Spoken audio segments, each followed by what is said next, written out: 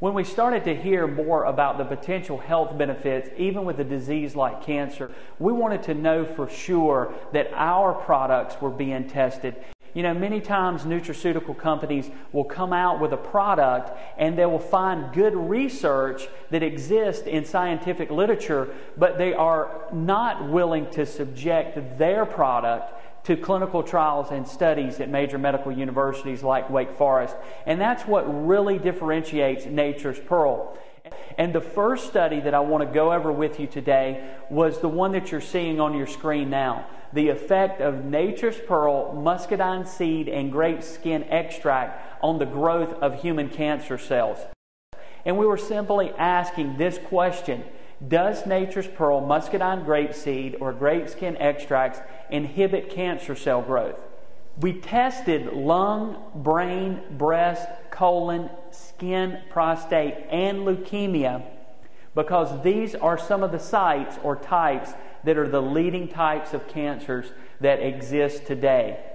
Now, this first slide that I want to show you is one of the results slides, and I'm not going to explain this graph because I have the inhibition by the numbers in conclusion in a moment. But we want you to see the science for yourself, and you see that this slide is titled Muscadine Grapeseed and Grape Skin Extracts Inhibit the Growth of Triple Negative Breast Cancer Cells. You know, there's three types of breast cancer there's an estrogen receptor positive, a HER2 overexpressing, and triple negative. And this particular uh, finding was so important to us because there's no standard of care for any lady that has triple negative breast cancer except for removal of the breast. So when these results came back from Wake Forest University, you can imagine that we were ecstatic and said, wow, we can help a lot of people.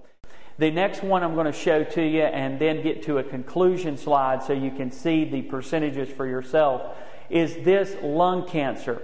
Muscadine, grape seed, and grape skin extract inhibit the growth of SKLU1 human lung cancer cells. Both muscadine, grape seed, and grape skin extracts both significantly reduced human lung cancer cell growth. The conclusion of the study was this. In human lung cancer cells, our extracts inhibited the growth by 81.8%, colon 80.5, prostate 80.4, breast, specifically in triple negative, 92.6% inhibition, and in skin cancer, 60.9, leukemia 74.2 very incredible that on all cell lines tested that you see this consistent inhibition of cancer cell growth in these in vitro studies. These studies were presented by Wake Forest University to the AACR, the American Association for Cancer Research, and they were accepted for presentation. Dr. Ann Tallant and Patricia Gallagher of Wake Forest University presented this abstract at the annual meeting of the oldest, largest scientific organization in the world that peer reviews this type of research being done on cancer.